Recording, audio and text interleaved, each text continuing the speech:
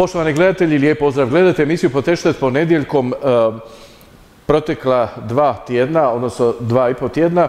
E, ovdje ste imali u terminu emisije Poteštat e, prilike slušati naše ugledne povjesničare u, amo reći tako, jednom, jednom serijalu emisija koje smo radno nazvali Oluja povijesti.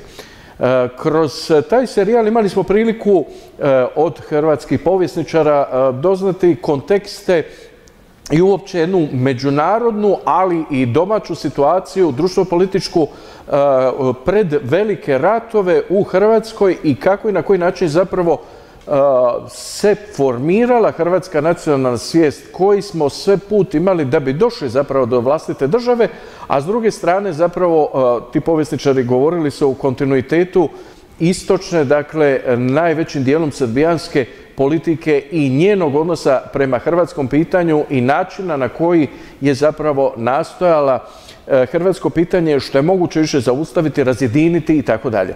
Dakle, imali smo e, prikaz toga kroz prvi svjetski rat, kroz drugi svjetski rat i domovinski rat.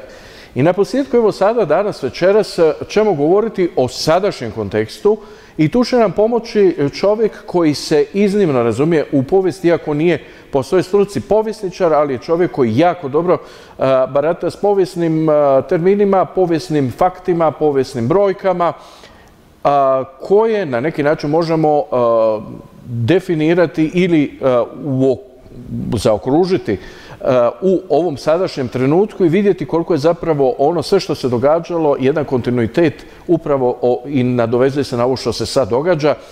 Čast mi je zadovoljstvo pozdraviti profesora doktora Matka Marušića ovdje s nama u studiju. Lijep pozdrav Matko i dobro nam došli. Dobar dan, hvala vam na pozivu. Evo Matko, ja sam napravio uh, uvod, uvod je zapravo kad govorimo o uvodu, tri krasna povjesničara su bili ovdje u studiju, uh, gospodin uh, Tihomir Rajčić, nakon toga Stjepan Lozo, gospodin Ante Nazor, oni su govorili o ova tri konteksta, prvom svjetskom ratu, drugom svjetskom ratu, trećem svjetskom ratu. Mi večeras govorimo o Hrvatskoj sada, Hrvatska po vašem mišljenju, i možda će to na neki način jedan dio gledateljstva šokirati, možda neće. Po vašem mišljenju Hrvatska u ovom trenutku u odličnom stanju. Kako to argumentirate? Reći ću riječ ovaj, bolju nego odličnom stanju, blista. I to argumentira na sve moguće načine, samo bi mi neko treba postavljati pitanje. A nikad se nije tako dobro živjelo, nikad se nije tako mirno živjelo, nikad se nije tako ugodno živjelo. I sad će doći neki reći, pa nije, pa reci mi di nije. I onda bi morali ići po redu. Tako da ja sad ne bih htio izmišljati izmišljati što bi, što bi ljudi govorili. Međutim, kad bi se sada obratili na brojeve, šta je sve sagrađeno, koliko je, e, koliko je se povisio BDP, koliko su se povisile plaće, koliko su se povisile penzije, koliko se sagradilo, ja vozim kroz Zagoru, ja sam Zagore, pa sve su te ceste, izgledaju kao autoceste, fenomenalno je sve uređeno. Da ne govorim Pelješki most, ali nemojmo zaboraviti auto, autocestu. Moj brat je govorio, on je još kod njega znate, vjerojatno. Eli, dakle, ima, kako on duhovito rekao, ima sam tri, ima sam tri želje u životu. Jedna je bila da Hrvatska bude samostalna država, druga da se sagradi autocesta za Splita, treća da Hajduk bude prvak Europe. I ove, druge, ove dvije koje su bile nezamislive se dogodile, a za treću će nam treba zlatna ribica ili ne znam što već. Međutim, to je šala, ali ona fantastično ilustrira da se dobro živi kad gledate šta se sve gradi. Pogledajte, ja sam podrijetlom iz Zagore, ovdje sam se u Splitu. Ja volim tu Zagoru, da sad ne pričam, svi vole Zagoru, koji je Zagore, normalno. Sad ti ideš kroz Zagor i ti vidiš da je to, nije propala zemlja kao što ovi, ovi govore. Nego je to zemlja koja blista, kako? Pa gledate šta se gradi. Grade se vile s bazenima u Vlaškoj, gdje smo se mi rugali, ruga se i ja, da ne znaju plivati ovo ono da se ne priča. Jel? postoji mnogo problema. Postoji strašno puno problema. Ali oni su svi minorni i najteži su sladan. Imamo slobodu, imamo recimo jednu fantastičnu demokraciju, da sad ne držim predavanje. U nas nije bilo nasilja, ni u čemu, nigdje. Ni u ratu, ni u prvim danima.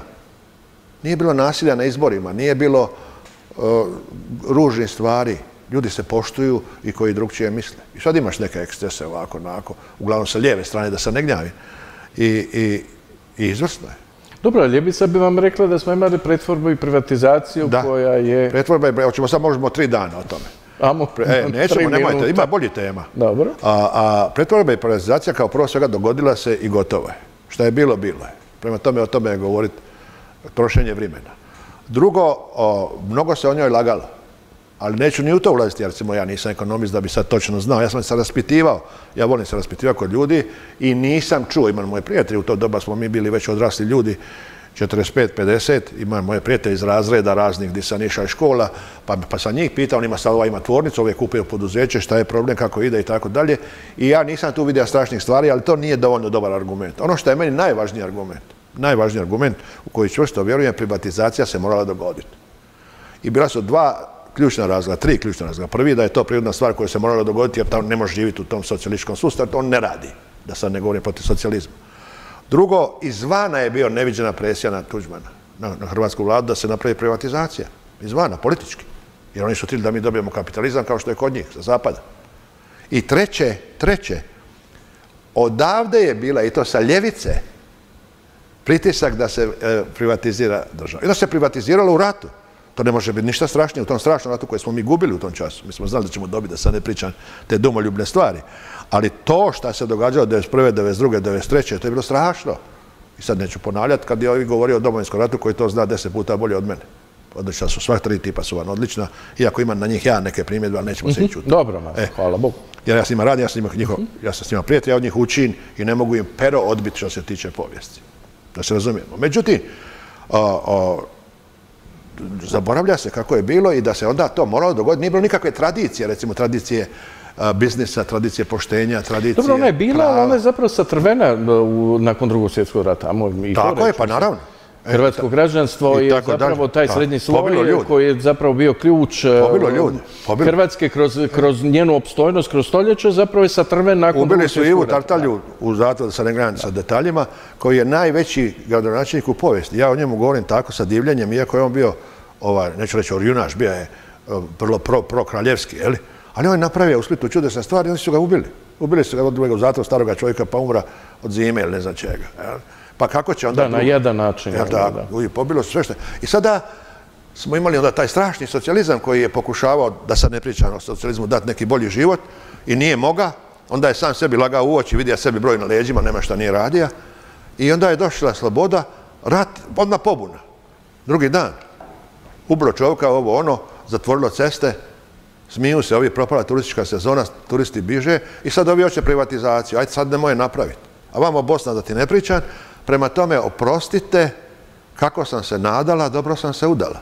Što se tiče privatizacije, ajmo to završiti.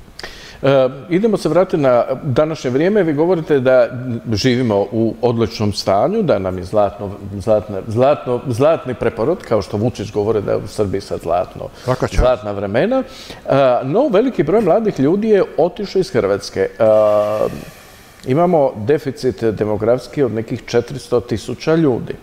E sad, čemu je to razlog? Je li to razlog zapravo tome da mi, pa evo ja ću ovdje biti kritičan i prema nama medijima, zapravo stvaramo jednu takvu defetističku sliku u Hrvatskoj da, u psihologiji mladog čovjeka, jer često čujemo mlade ljude, čim ja završem srednju, ja čim upišem fakultet idem van, e, je li zapravo tu stvari zapravo jednog javnog mijenja i našeg ronjanja, da zapravo kod mladih ljudi stvaramo odbojnost prema vlastitoj domovini, odnosno e, da zapravo kod njih stvaramo dojam kao da su oni tu negdje u prolazu i da je zapravo Hrvatska za njih prolazna stanica prema nečem boljem, ljepšem i tako dalje. Sve ste rekli. Eto, Dopustite mi da reći ću najprije jednu uvodnu jesam priču. li u pravu? Uh, uh, Mislim Jeste, ali ja ću sad dokazati fenomenalno kao ste u pravu. A drugo, onda ćete mi dopustiti da objasnim, odnosno da odgovorim na pitanje. Kao prvo, najbolje situaciju o kojoj vi pitate opisuje jedan događaj u Splitu koji nije niko primijetio, nego recimo kao ja, sad lažem kao pas, ali sam ga primijetio. A to je da je Nikidan, Nikidan je to bilo, Ivica Ivanišević napisao u Slobodnom Dalmaciji kao humoristično da poziva sve Hrvate da napuste Hrvatsku. Dakle, kad to neko napiše, onda to nije da je on sada se naidi, a na nekoga činovnika na općini. Ili šta, šta mu je neko ukra dinju ili ne znam, ovaj, slabo mu proda neku nešto, nego je to čovjek koji je to onda po- po- po- poslao hrvatskoj javnosti, napose u Dalmaciji, napose u Splitu, kao jedno uvjerenje čovjeka koji je toliko važan i velik da može pisati u Slobodnoj Dalmaciji svaki dan ili kako on to već piše. Ali s druge strane nije on otišao. Pa šta nije on otišao ako poziva da svi odu? To znači da ovdje ne valja, to on hoće reći. Međutim, njegov vlastiti rad i vlastiti život pokazuje da ovdje je fenomenalno da čak i on ima pravo da piše o Slobodnom Dalmaciji šta nikako ne bi smija prema svom talentu, znanju i humoru. Da sad ne ulazim u, u, čovjeku. Jeste li vi mogli ili vaš brat prije 40-50 godina pozvati sve Jugoslavene da napuste Jugoslaviju? Jel tako? Recimo Krošalu, kako, bi, kako bi Joško prošao? Pa bi ja prošao bi ovako, lipo. Sa zazvanim rukama, noga me ne bi zavezali. to je smiješno. Ali neka, ja neću ići toliko daleko. Nego govorim o tome, odgovoru na vaše pitanje. Postoje ljudi, poput, to je jedan primjer, neću ja sad, ja čovjeka ne znam. Ovaj, postoje ljudi koji kažu mrtvi hladni, napuste Hrvatsku, ovdje očajno, a oni stoje tu, pišu dvije rečenice ovaj, tjedno i imaju fantastičnu plaću. Pa ko je to vidio govoriti? Ali samo ilustriram otkud je taj duh došao. Duh je došao tih ljudi poput njega, tih medija koji kažu ovdje ne valja. Ovdje valja, ovdje je fenomenalno. Prema tajmo sjest. Ja pozivam, i napravite emisiju. Makar ja ne razumijem puno ekonomiju, ovo ono, ali dajte, pogledajte ljudi brojeve. Pogledajte šta se događa. Pogledajte, ne samo to, pogledajte tu jednu jedinstvenost hrvatskog naroda, bez obzira na ove razlike o kojima i, vi i ja govorimo. Tu nema incidenata. Imate Milanovića i Plenkovića došli na, na, Pelješki most, oba dva drže fenomenalne govore. Na Alki ovo ono. To, to nije šala. To nije neko moje uljepšavanje. To je moja procjena ko što je napravio Anišović, procjena da svi treba napustiti Hrvatsku osim njega. E, neću ni ja. Nešto me ne istirati. E, sad zašto ljudi izlaze? Ima više razloga, ali prije toga razloga ću reći drugi uvod. Koga sam ja god upoznao, a ja sam čovjek koji se jako bavi inozemstvom zbog toga što sam međunarodni znanstvenik, međunarodni profa i sljedbenik Franje Tuđmana koji se bavi hrvatskom dijasporom. Znači ja se u to razumijem. I ja nisam vidio sretnog emigranta. Nikad i nigdi. A među nama rečeno ni uspješnog. Nemojte me sad krivo shvatiti emigranti, žao mi je. Jer što znači biti uspješan? To znači, to je taj osjećaj koji ja sada ovdje govorim. To nije samo imati puno novaca, to nije samo imati kuću, to nije samo imati obitelj. To znači imati sve da kad se ujutro probudiš, da si sretan što si se probudio i navečer kad ideš spavat, da kažeš ovo mi je bio lijep dan, a kad budeš umira, to piše u mojoj knjizi Mi Hrvati, to je najbolja rečenica koju sam ikad napisao, piše rečenica kao i očev, bio je to dobro obavljen posao. I onda se oni kao vraćaju, da sad ne ulazim u te detalje. To je dakle prvo što sam rekao. To, je taj, jedan mit o hrvatskim emigrantima, mit. Oni tamo žive, oni su dobri ljudi, oni vole Hrvatsku, sve, međutim oni nisu sretni, oni su falili. I to nisu falili, otišli su u onim vremenima i tako dalje, nemojmo govoriti falija. Ali kad bi govorili ukupno u, sreći života, onda je to faliveno. Ja sam puno ljudi upoznao i to ne bilo kakvih ljudi, nego vrhunskih ljudi. Znam sam čovjeka koji je radio atomsku bombu u, u, u, u Brookhavenu, New York, da sad ne pričam. Dobro, to je jedno. Drugo, postoji tradicija iseljavanja. Ljudi ne razumiju da postoje krajevi u Hrvatskoj kojima se ne može živjeti u velikom broju, recimo u Dalmatinskoj Zagori. Dalmatinska Zagora sad ima tisuće vila sa bazenima i to je taj život koji treba biti. Međutim, tu ne može živjeti puno ljudi. Kao i Slavonija, napadaju tu jednu Slavoniju. Slavonija je fantastična. Pa ne može se poljoprivredom baviti ekstenzivno toliko ljudi koliko je bilo prije da kopaju ljudi ovaj, od, od brazde do brazde. To se ne može. Danas, sad danas to rade strojevi, to je tvornica. Prema tome nema tamo premalo stanovnika, nego još uvijek ima previše. Plus toga zašto bi neka žena, ja volim žene i vi volite žene, žene su, žene su zapravo prometni policajci naših života i svijeta. Ona neće živjeti u kući u kojoj nema tekuću vodu za zahod, ima pravo. Oni su kopali te rupe, ja sad to tamo odlazija, u, u vrtu imaju zahod, to je ono dole na rupu. I to ima pravo svatko na ovome svijetu da kaže ja tu neću živjeti i neću kopati pogrubljenih leđa. E, a onda dolazi treći problem, to je što je puno ljudi nije dovoljno educirano, slabo uče. Ja sam jako, ja sam profa pa sam da pristran. Ja jako sam ljut na slabe džake, a svijet je pun slabih džaka. Neko ko ne završi školu, on ne može dobro živjeti. Molim vas da me to čuju, svi ti džaci i njihovi roditelji. Ko ne završi pristojnu školu, koju voli i u kojoj je dobro, ne mora to biti sveučilište, ne mora to biti doktorat. Hoćeš biti meštar, odlično recimo meštar u kamenu, plaća se u zlatu, zar ne? Danas ne možeš naći drvodjelca da napravi stol, sve ove ženske hoće svoje neke stole i tako dalje. Pa daj, platit ću ti. Ja tražim isto meštar što mi žena naredi i ne možeš naći. Hvala Bogu ima neki miro, pa ga ja vatam na, neka prijateljstva da nam dođe napravi, čekam ga i tako dalje. Prema tome, svaki posao je častan. Ono što nije časno je lijenost i nepoštenje da se ne ulazi u moralizaciju. I onda se dogodi E tu nama to fali toga civilizacijske razine, fali nam samopoštovanja, sve šta bi ja tu mogao naći. I onda ljudi slabo uče. Pazi, sve se odlučuje u petom osnovne. Zapamtite što sam rekao, ja sam profa, mogu ja biti u krivu. A vi mislite bolje od mene. U petom osnovne koji je slab đak, on u životu neće uspjeti. Pa prema tome, odgajajte svoju djecu. Ja gledam moje rođake i gledam kome su djeca dobro, cijelu moju familiju, cijeli moj kraj. U toj školi koja je najljepša u Hrvatskoj, samo jedno dijete godišnje u prosjeku ide u gimnaziju. Pa šta je tu, ljudi? Odgovorite na to pitanje. I kaže, mi moramo iseliti. Pa normalno da moraš iseliti, inače moraš raditi estriš. A estriš onda iseli pa radi u Njemačkoj, pa ima veću, veću ovu plaću, ali onda dio šalje vamo pa sagradi kuću i prođe mu život. Svaka čast, svaki ima svoj život i svoje odluke. Faliveno je. Ne treba ići vanka, osim za školovanje. Ja sam poslao puno ljudi vanka, da sad ne pričam svoj život i to mi je jako važno. I treba ići na školovanje jer su oni bolji od nas. Ali ići van i raditi nije dobro. Zato što si ti građani drugoga reda, nikad nećeš govoriti bez, akcenta i nikad nećeš doći na pozicije, one koji si mogao doći pozicije ovdje, ne mora to biti sad gradonačelnik, ali da ti imaš u društvu jedan ugled, gledaj, ide Robert, on ti je, on ti je fantastičan keramičar. Pa šta fali tome? To je odlično. Ili on ima odličan restoran. Pa šta ima ljepše nego, nego čovjek koji kuha lijepe stvari? Da, ali interesantno, recimo, e, govori se mi često govorimo, opet govorim, vraćam se na medije, tu sam i ja u tom području. Mediji su neprijateljski, pa to znate bez mene. Ma dobro, to je jasno ko da. A mislim jedan dio. Veći dio. Dio je neprijateljski, a dio ne valja. E, e. Ali, recimo interesantno je da se uvijek govori pola istine. Govori se o mjestima u kojima nema života ili života nestaje, a zapravo ne prikažu se mjesta u kojima život buja, pa evo sad recimo u Kninu imate više novorođene djece nego u nas. Da, lako u Kninu sad jedan zagvoz, pa taj zagvoz ne može biti iza više, da ne kažem Vuko, e. iza veće planine, a, tamo danas divota dolaze Englezi, mole da tamo mogu malo stati. I ne govori se zapravo koliko je djeca naših emigranata zapravo e, se u zadnjih godina odlučilo za Hrvatsku i naseliti u Hrvatskoj. E, recimo, to su priče koje se negdje provuku ispod mainstreama, jer jednostavno nisu atraktivne za stvaranje dojma Hrvatske kao, rekao pa sam, prolazne stanice koja je... Pa zato ja govorim da Hrvatska blista. Ja sam, ja sam osnova studij na engleskom jeziku medicine u Splitu. Ja znam svakoga na pamet dvije godine što sam pratio. Pa to stranci žele ostati. Ne samo naši studenti pa hrvatskog podrijetla, bla, bla. Jer ovdje je fantastično, to ima mana. Čemo govoriti o manama, možemo do ujutru. Ali kad gledaš ukupno svojega života, onda ja kažem pa mi se ljudi smiju, neka se smiju. Nema boljega mjesta na svijetu od Splita za život. E sad oni kažu ovo, ono, uh. znam bolje, svugdje sam bio. Ovdje imaš mir, imaš ljepotu, fantastičnu klimu. Fantastično. Lako je govoriti vama što živite na Žnjanu da ima mir. Dođite u mene na spinuti, na skajice pa što vidi i u centar. Nema mira. Kako sad mir? Nemoj to, molim te lagati jer ću te opaliti sa čime. Dobro, okej. E, svaka ima svoj mana da sam ne gnjaj.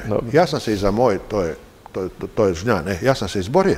Možda ti pričam kako se izborio, pa šta će daviti ljude? Imaš štedljivu ženu. Ajde imaš i ti štedljivu ženu. Ko nema štedljivu ženu ne može se obogatiti. Jer više novaca dolazi od štednje nego od zarade.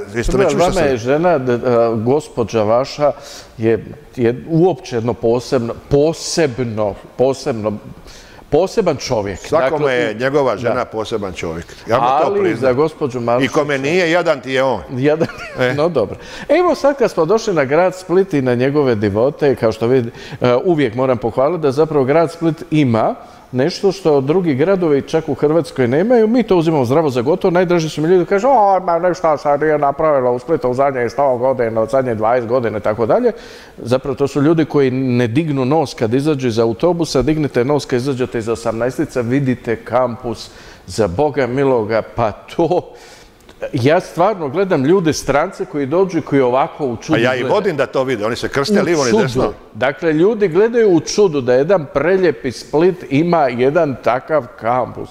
Ljudi ne mogu vjerovati što mi sve imamo. A još da vidi kakve su profesorice. No dobro, nećemo biti seksistični. U svakom slučaju, s druge strane imamo Split koji, evo, koji se zgraža nad pišanjem u Pirju i tako dalje, turista, dakle, mi kao da ne znamo što bi sami se... Nemoj, nemoj, nemoj, manje govori jasnije.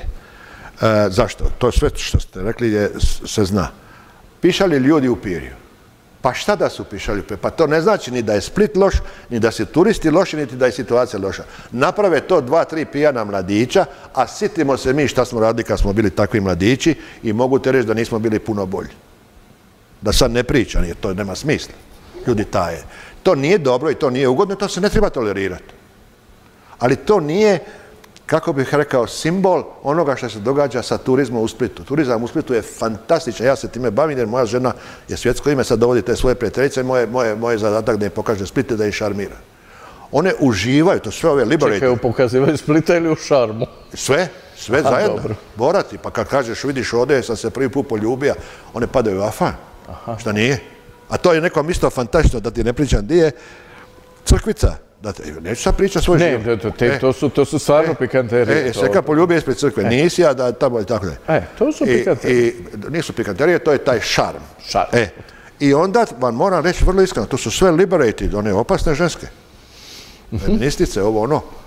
I ja s njima pričam kad sam najvećim prijateljicama iz gimnazije i one obožavaju Split na isti način kao ja. Šta to hoću reći? Da je to jedan predivan grad. Ima milijun mana. Hoćete da ga kriticiramo do ujutro. Ima stvari koje bi stvarno nekoga trebalo istriskati. Jako se zaostaju u raznim stvarima. Ali kad gledam svoj život, gdje sam se rodio, šta sam bio i sada na put, sad napravio monografiju o tom sveučilištu što ste ga vi, prikazali i nadivio sam se ne samo zgradama, nego rezultatima, da, vam Ljudima, da, rezultatima. Rezultatima. I suradnjom koju sam doživio, rekao sam se u Lipe profesorice. Pa ima li išta lipše od Lipe profesorice, koja zna šta bi ja tija i onda mi još to dopuni i još napravi. To je predivan život. To postoje ljudi takvi u Splitu. I sad postoji i ovo i ono, ali kad gledate taj napredak, moga je Split bolje, tu se ja ljutim jako. Pogledajte Zadar, pogledajte Šibenik, pogledajte Rijeku, pogledajte Pulu, pogledajte Zagreb, Osijek, Vrbovec, ne znam šta sve ne tamo, ovaj, Križevce. Split je slabiji, ali neću sad u to ulaziti. Imamo mi svoje probleme i onda kaskamo polako, ali kaskamo naprijed. To je fantastično gdje ja živim. Ljudi me vole, svi su pristojni. Čak i oni koji tamo izdaju nepristojni, onda ja prolazim namjerno tamo neka dica galame. Dobar dan, djeco. Svi dobar dan, barba. A, pa, pa šta to nije dobro? Pa recite im vi prvi ako neće oni. Kad uđete u lift, ja to jako volim. Dobar dan, ko je ova lipa cura, u koji razred, ima sve pet, nema sve pet, ali onda potvrđuje mater. Pa dajte, uživajte u svojim životima. A ne Kajivica Janišević, bište, ali daj ja ostanem, ma nemoj. Neću, ovo je moja zemlja. Aha, znači on vam nije baš legao, ali dobro. Ne, ne, to je vrlo ružna rečenica, ima tu puno stvari, ja sam ga uzeo kao simbol, nema ništa protiv njega. Da. Ali to što je on napravio, to je svetogrđe. Za grad u kojem on živi, u kojem mu piše za glavne novine koje ljudi vole. To je svetogrđe, to je gore od najgore psovke. Sram te bilo, a ja se razumim i u stanje, i u književnost, i u humor.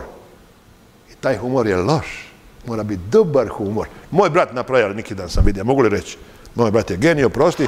Kažu, volim brata, volim brata, volim, i Roberta. Pa šta sad, odlično. E, dobro, I živim odlično. To je jedna opća ljubav. To je ta blistava Hrvatska. Ja uživam s vama, imam emisiju. I kaže moj brat nastav karikaturu, imaš ove, ove o zabortu se, to znaš. I kaže mali, vidiš materi cine, i ma, mater viće, Ivica! Ivica ništa, mater viće, Ivica, zovem te. A Ivica se kaže, šta hoćeš? Nisam više tvoje tijelo. To se zove humor, ako niste znali, a znali ste vi. Poštovani gledatelji, e, profesor Matko Marušić s nama je u studiju, mi ćemo se malo odmoriti, nakon toga nastavljamo s važnim temama, e, aktualna društveno-politička situacija u nas i u okružju. Ostanite uz nas.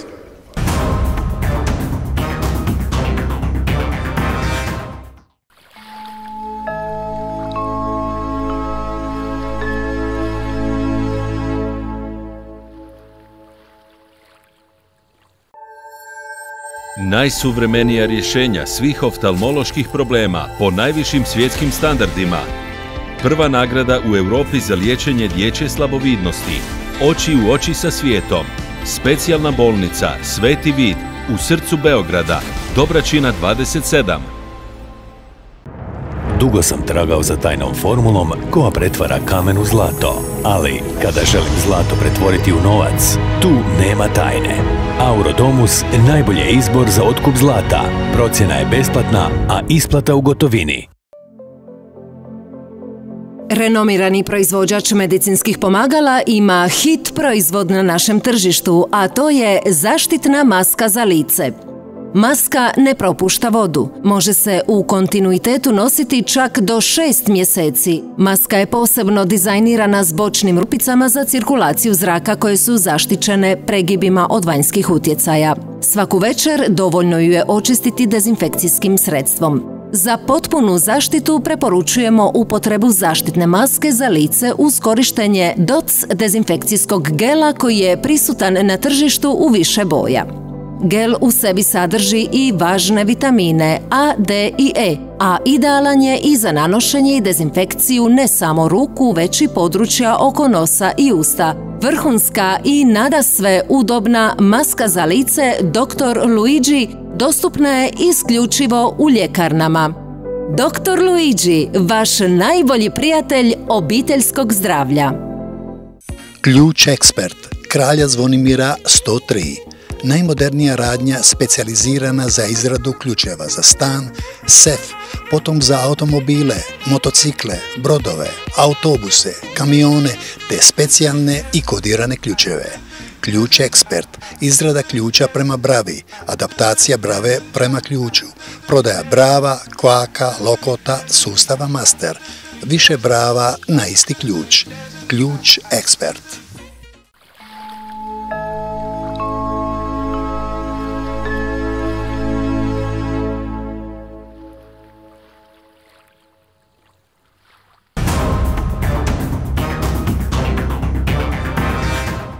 Poštovani gledatelji, za one koji su se naknadno uključili, Matko Marušić je s nama večeras u gostima. Gospodine Marušiću, ja se u većini slažem s vama u ovom prvom dijelu gdje argumentirate da Hrvatska živi i je u odličnom stanju. To je, ja bih samo još pripomenuo, da je Hrvatska obnovila preko 60 tisuća objekata porušenih u Domovinskom ratu, a da to apsolutno ni Srbiji, ni nikome nije palo napad da pomogne jednu lipu u tome svemu.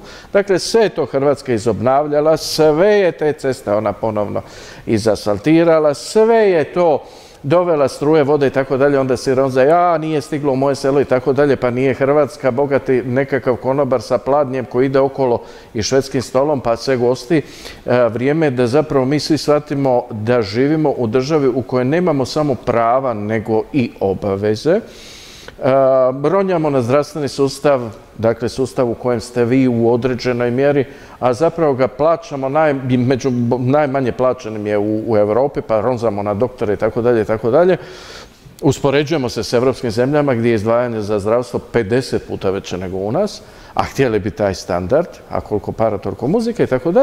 Ali ono što je bitno je da je zapravo Hrvatska uspjela imati pametnu politiku, pogotovo u ovoj sad svjetskoj krizi, stati vrlo jasno na stranu demokratskog zapadnog svijeta i održati kvalitetu življenja u Hrvatskoj, prvenstveno tu mislim na slobodu, na, na jedan osjećaj sigurnosti koju zemlji prevladava, s obzirom na to da se mi nalazimo praktično na rubu litice, ispod nas je ponor Balkana. Balkan kuha, za neka dva mjeseca su izbori u, e, opći izbori u Bosni i Hercegovini, e, gdje niko ne zna hoće li gospodin Šmit evo za deset dana e, donijeti na temelju bolskih ovlasti intervencije u izborni zakon, da ili ne, pa sve do Srbije gdje zapravo jučer ujutro na jednoj od njihovih mreža jedan od glasnogovornika SNS-ove politike slavne bizone, kako ga zovu tamo, e, najavljuje rat i Srbiju koja ide u rat.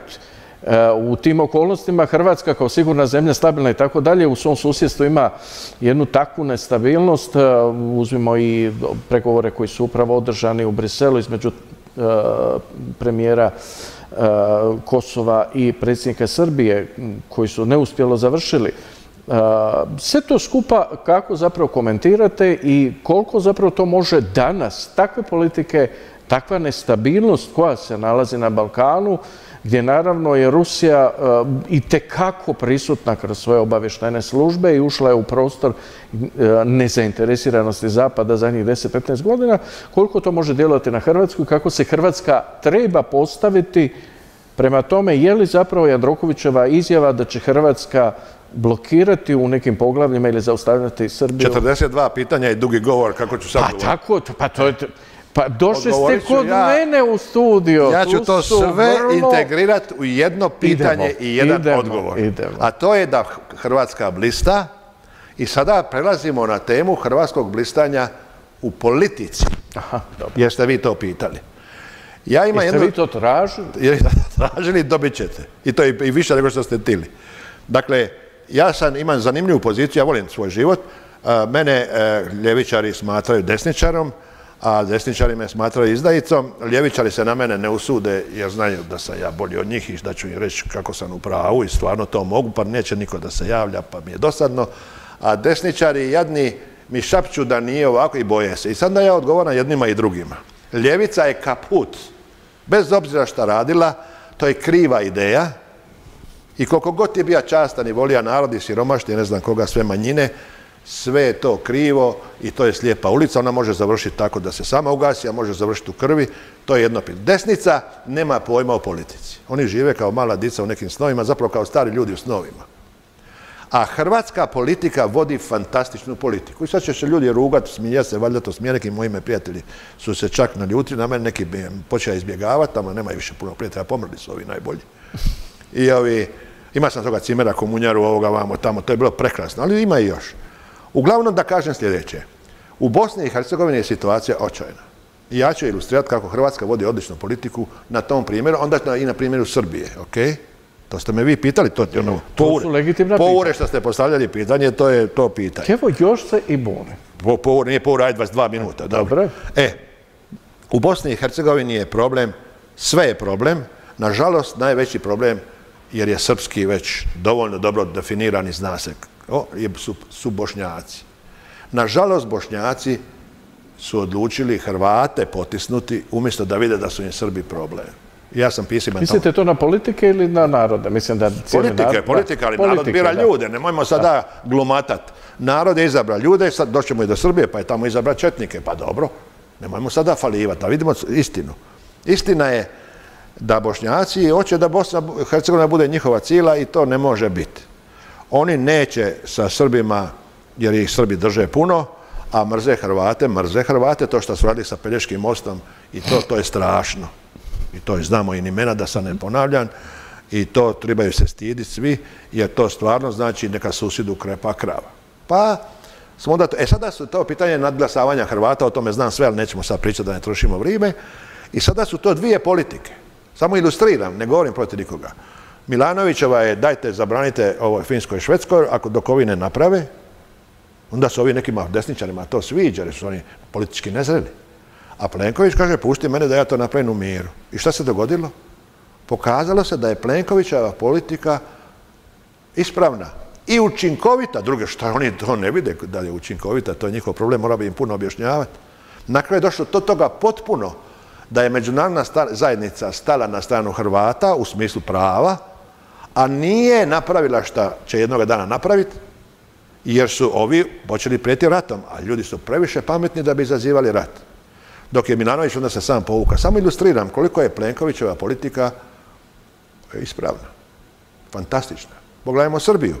E, Prije što idemo u Srbiju, kako komentirate da je e, Izrael, država Izrael, u situaciji unutar Bosne i Hercegovine e, stala na stranu Hrvata i e, e, amo to tako reći, na neki način dala svoje mišljenje da hrvatsko pitanje treba biti riješeno, odnosno pitanje hrvatske reprezentativnosti u organima vlasti. Izrael je Dakle, izrijekom stao na stranu Hrvata. Kako to komentirate? Dva su odgovora. Prvo, oni su pametni.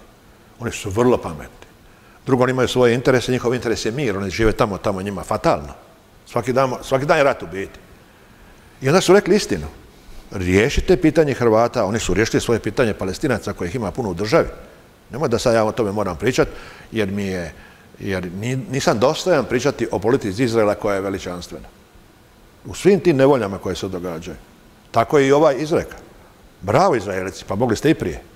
A da ne govorim da ste mogli pohvaliti ovdje mnoge stvari, neću sad u to ulaziti, jer to je posebna tema. A? a to možemo posebno, da možete dovesti ovdje Ilana Mora, da se pričamo, jer ja, ima, ja mu imam nešto reći. I to lipo mu ima nešto reći, lipo. E, jesam odgovorio? Jesam. Ali Ilan Dakle, je moj pitanje- dragi prijatelj, je stvarno, mislim, meni Ilan užasno. Organiziraj kavu. E, Može, e, može. I tako je- sad odlaze, jel pa? Pa tko došao da došao. Ovaj, to sam dakle odgovorio.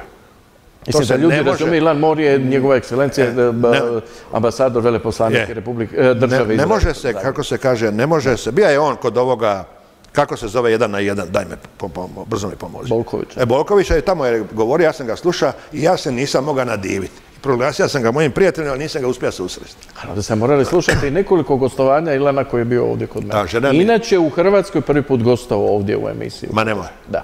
Prvi put kad je došao u Morate mi Hrvatsku. poslati link, ajde dobro. Odlično. Da kažemo dalje. Znači, Bosna i Hercegovina je jedna teška rana, vrlo teška rana, koju treba vrlo nježno rješavati, konzervativno, a ne operativno, ok? Da govorim sad medicinski. To znači treba polako. O, o sudbinu Bosne i Hercegovine odlučit će Bošnjaci jer su oni najbrojniji i koliko ja vidim oni vode sebe u propasti svoju državu, a ne u pobjedu svoju. Oni ne mogu to pobijediti jer nema ni potrebe. Pa ne možeš ti pobijediti da nestanu dva naroda koji su također tamo i koji imaju sve te prava i tako dalje, da je sve potpisano i sad ćeš ti na dječje trikove, zato što ću se ja proglasiti Hrvatom, dobiti da ti bude neko predsjednik koji je za tebe. Mislim, to je stvarno žalostno. Ja sam bio tamo kod njih i vidio sam, ono, jo- vidio sam nešto još gore. Ja se družim sa visokim ljudima, da im sad ne kažem imena, niti funkcije. I veliki smo prijatelji. Da smo sjedili, sjedi, čak je pas snig, pa nismo mogli otići, pa smo još govorili. I ja sam vidio, nažalost, nešto vrlo tužno. Sa dva prijatelja. Oni su protiv Europe. Oni neće da se uđe u Europu. Oni lažu. E sad ja možda falija, možda sam ja zao, ispričavam se. Ali vi svi provjerite. Pa šta bi, ima masu stvari koje mogu napraviti bez obzira na Hrvate. Nije to jedina prepreka koja drži taj nadglasavanje Hrvata koja drži ulazak Bosne u ovu Evropsku uniju. A Srbija neće, Srbija neće ni pogotovo, jer oni, drže veliku Srbiju. To je branik velike Srbije s Republika Srpska. Da sad ne pričam, jer bi trošili puno vremena. Sama politika u Srbiji je jako katastrofalna i tužna. Oni također sebe vode u propast, što se i pokazuje njihova povijest, da sad ne pričam. Dosta dobro znam tu povijest, ali ne mogu Stipi, ni Anti odbiti, ni Pera, eli, tako da neću gnjaviti. E sada, a, oni u tom svom očaju, što im propada veliko srpska ideja i to svaki dan i propada i nema niti malo uspjeha Erodira, da. erodira, jeli, ovaj, onda oni moraju, moraju stvoriti neku politiku. Na Kosovu je strašno stanje, u Republici Srpskoj još se i ne zna, je isto strašno stanje jer oni nju financiraju, da se ne priča, daju im kruva. Tamo nema ničega. E, a i sami nemaju kruva. I sada Da, navodno je zapravo najveći egzodus stanovništva na, cijelom Balkanu iz Republike Srpske. Pa oni, pa no, oni o tome ne govore. Cijelo vrijeme Ne. govore Hrvati se iseljavaju, Ne. Hrvati se iseljavaju. Zapravo je se Republika Srpska stuboko iselila. Ja ih žalim, ali neću sad Ne, pričati. nije- mislim, nije bitno, ali čisto govorimo o I sada je, brojkama. onda ta srpska politika je se time, to je taj pri- pri- princip ratni da se sve više povećava a, frikcija, jel? I sada oni pojačavaju to umjesto da ga smanjuju. I oni su okrenuli se na Hrvatsku. Pogledajte, molim vas, mogli bi dugo pričati. Priznata je makedonska crkva. Ljudi gledaju, oni sam kažu mi smo demokrati, nije, oni su makedoncima prije drugog svjetskog rata promijenili i krstna imena i prezimena. Na silu su se ti drugčije zva. I sada dugo ih nisu priznali, sad su jedan put priznali. Zašto bi priznali? Zato što bi bija prizna ovaj, carigradski patrijarh.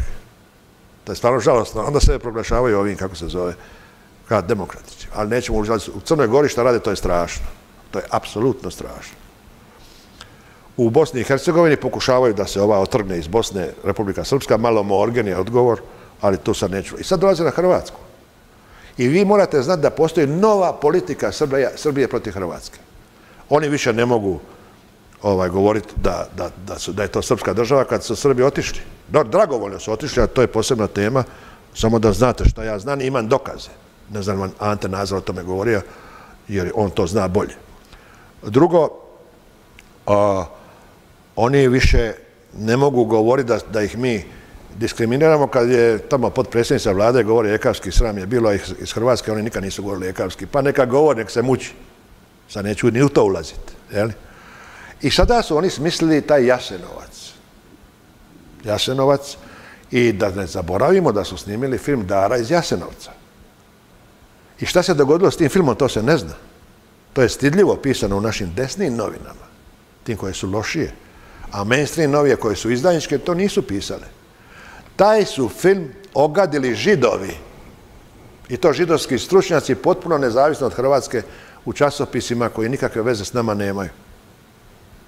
Kao film koji je jeftina propaganda protiv Hrvata. To je sudbina srpskog filma Dara iz Jasenovca. Dobro, ali oni su se sad osjetili pa su odriješili kesu, doveli Lortana Zafranovića i sad stavljaju kulise u gradini i sada se snima Rez 42. Dakle, novi film o Jasenovcu, ali ovog puta ga režira Lotvan Zafranović. Velika produkcija, ima i hrvatskih glumaca koji će glumiti da, su, da je Hrvatska država bila odnosno da je ova Nećemo sada u to ulaziti jer bi to, Da. to bi trebalo Ali okej, da- i sad kažu Oni da će snimaju- to biti za to, Oni kažu, oni će sve to napraviti. To država financira, to je njihova politika. Ajmo dalje. I oni financiraju tu oluju, to je vrlo važno. E? I tu sam ja nešto spremija. Mogu oni znat pa će vidjeti šta će se dogoditi. Oluju kao kriminalnu akciju. I ova sad Petrovačka cesta, jeli, ubilo ljude. I rade to tako strašno. To ovaj doće doniti cvet. Vučić sram ga bilo ovaj, cvet 700 ljada i onda jadni Hrvati, šta ćeš sad? I sad ova desničari poluđuju, a triba ovo, triba ono, ne možeš ništa. Jer ti on ti laže u oči. On kaže, ja hoću doniti cvet, ali on doće da dođe da kaže da je tu ubijeno 700.000 ljudi, a nije. Imate poznatu priču, ne zna ni hrvatska javnost to zna, da je Ivi Goštar, koji je hrvatski neprijatelj, nema tome govora, on je napisao knjigu Jasenovac i u njoj je napisao da je ubijeno 84.000 ljudi koliko je, koliko piše na onome, u Jasenovcu, je li? Poimence. A onda je on tu knjigu dao u Srbiju da je Srbija otkupi i dade u škole. Zamislite dakle šta on radi. Tek toliko da se zna. I onda je Srbija bi to bila uzela, međutim, onda su ovi rekli, pa čekaj, on piše 84.000, nije 84, nego 700 tisuća. I odbili su kupiti knjigu od Ive Goštana Jasenovac. Zamislite koliko su svi oni nisko pali i bijedni. Vratimo se nazad. Oni idu u oštru ofenzivu jer nemaju šta drugo. Mržnja na Hrvatskoj je ogromna upravo zbog onoga što sam ja rekao, jer oni vide da je Hrvatska blista i da su oni falili. Meni, ja njih ne mrzim. I sad oni postižu, i s time ću završiti, neću ja dugo gnjaviti, postiže srbijanska, velikosrpska politika koja se snalazi na razne načine do toga da snima filmove sa Hrvatom, Lordanom Zafranovićem, pa šta šansa, ima svakakvi ljudi. da ima... Pa ima, pa šta je on? Znači, da. Pa šta je on napravio sa okupacijom 26 slika, to je stvarno sram ga bilo. Kao čovjeka, ne kao Hrvata, ne kao Srbina, ne kao Jugoslavena, kao čovjeka. On je fenomenalan redatelj, on je izmislio scene koje ne postaje. To je strašno. I Da, ali, ali, ali interesantno je da se zapravo, evo, čak i nekakvi ozbiljniji, ako ćemo govoriti o srpskoj javnosti, ozbiljniji ljudi, dakle, intelektualci i tako dalje, pozivaju upravo na taj uradak njegov kao nešto što dokumentira kakav Kako ne? Kako ne? To je, pa to je cijeli taj mit. Sve je to laž. Pa ču, slušali ste, ja se nadam, Stjepana Lozu. Pa to je, to je potpuna 100%, ne 99%, laž. Sve. Ali ne znači da, da su Ustaše bili pozitivni, ne Bože.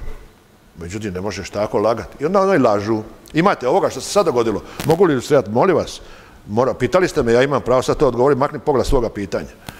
A, Vučić je reka, ljudi nisu to primijetili, ja se čudim ljudima, a ti novinari kao prave se pametni, sram je bilo, oni znaju to, samo neće da napišu, oni su neprijatelji Hrvatske. Vučić je reka, samo vi radite svoj posao, jeste to primijetili? Ja sam primijetio, sam slušao ga, Vučića. Ali zašto je on to rekao? Zato što postoji jedna srpska laž strašna, gdje je napisana knjiga o Jasenovcu, neki neuropsijatar napisa, koji opisuje kako kolju Ustaše ljude u Jasenovcu. I dođu do jednog starca koji im kaže samo ti, samo ti dijete, samo ti dijete radi svoj posao. Da. Sram te bilo. Iz toga vidite ko je Vučić i šta je srpska politika. On je direktno rekao Plenkoviću, o, o- ovome Zoranu Milanoviću, svima, Jandrokoviću, cijeloj Hrvatskoj, vi ste koljači iz Jasenovca. To je on rekao ufino. Dobro, reka je. Na to ti ne možeš odgovoriti istom, jer nisi ni toliko ni budalast, ni pokvaren, ni prost. I tu Plenković vodi fenomenalnu politiku ignoriranja toga. Šta se događa? Koji je rezultat? Nikakav. U međunarodnoj zajednici su ga pročitali sami židovi, ja nemam što dalje govoriti. Ne znam, li znate da je Gideon Grave, da sad ne pričam o Gideon Graveu, je otkriven kao čovjek nepouzdan. Taj njihov židov koji je u Srbiji govorio Jasenova 700.000 a i više i tako dalje, da sad nemam kao pričat. Bolje bi bilo da ste mi postavili kraća pitanja. Dakle, dakle šta je rezultat što je rezultat velikosrpske politike? Jedna tužna stvar. Srpski narod koji je dobar narod, to su dobri ljudi, svi smo mi ljudi. Neizrecivo mrzi Hrvate. A da zato zapravo jedan razlog racionalan... Samo zbog te ta propaganda Vučićeva i Srbijanska... A dobro, ne da svi mrze. Mislim, Ma dobro, nemojmo... Postoje neki koji zapravo su dio tog, tog Nemojmo, sada me vatat na to. Ja se razumijem statistiku, ja sam profao statistike. Neka mrzi 51%, svi su. Kako ćeš onda govoriti? I tako dalje. 49% isto su svi. Puno je. Da sad ne gnjave. Opće raspoloženje u, u Srbiji je da se ne voli Hrvate niti malo da pače i se to dokazuje ankete koje se provode e, svake godine gdje su Hrvati e, po anketama građana I to je tužno, zato što nije to istina. Znači, ta cijela velikosrpska propaganda je postigla samo jednu jedinu stvar. Da Srbi zamrze Hrvate i da zamrze Zapad i da zavole Ruse. I tu ti je Srbija.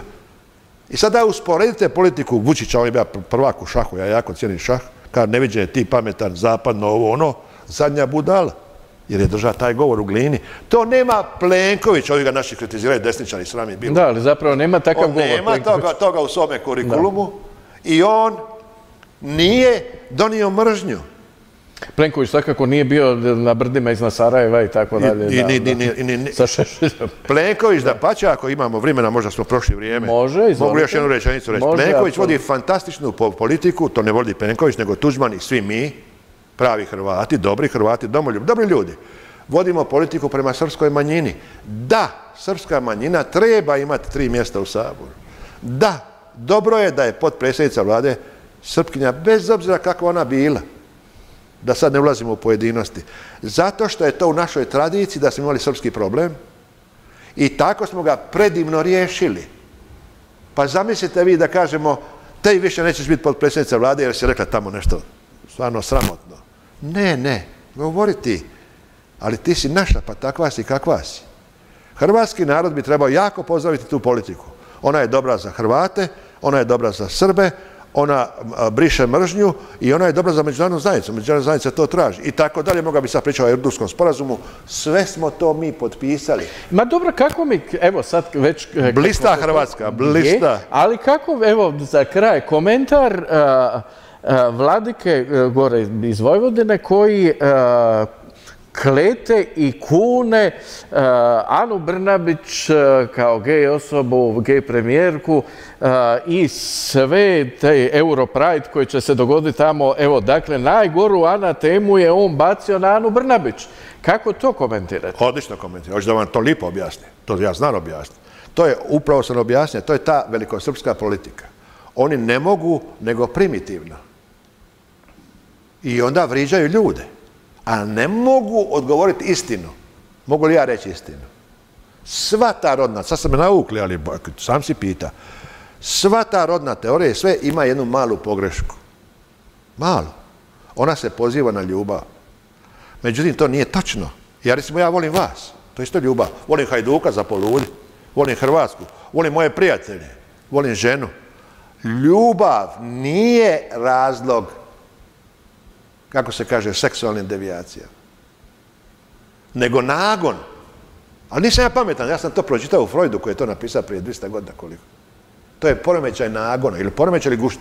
Neću u to ulaziti. Ali nemoj me, molite, vata na ljubav, oni dva se vole. Nije. Jer se voli ni ja, sa Robertom, sa mojim. Ima i milijun. To je jedna jako lijepa ljubav.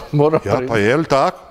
E, baš što se mene tiče. Možda ste vi licemjerni tip, pa imate drugog. Tako, pa ima e, e, drugu ljubav. Ja ne ulazim u to. Ja govorim šta je ljubav.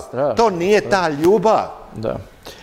I na kraju Brnabićka, evo, umjesto da, to je ona kaže, evo, daj gore o Hrvatima i to se Znači ona je jadna. Ali zašto da govorim sad da ona jadna kad to nije moje pravo ni kršćansko, ni hrvatsko, ni političko. Ali morate, od danas sam čitao u novinama, morate onda to se odlučiti. Ja znam šta se onda mora, što radi Plenković, to prešutjeti. Jer to nije dostojno ni produktivno komentara. I to je ta naša politika koja je izvrsna, a koju moji desničari napadaju. Falili si. To je genijalna politika, jer ti ne možeš, kaže se, ne smiješ nešto dirati, jer će biti još gore, jeli? I tako dalje. Je li pred Hrvatskom svijetla budućnost? Je, apsolutno. Fantastična budućnost. Na temelju čega? Na temelju svega. imate uzlaznu crtu, to se zove trendovi. Pogledaj recimo, pa zašto da ja to radim kad svi to drugi rade? Taj predivni Marić, pa jesmo li dobili da smo ušli od, od smeća, razmjerno visoko? Tako je.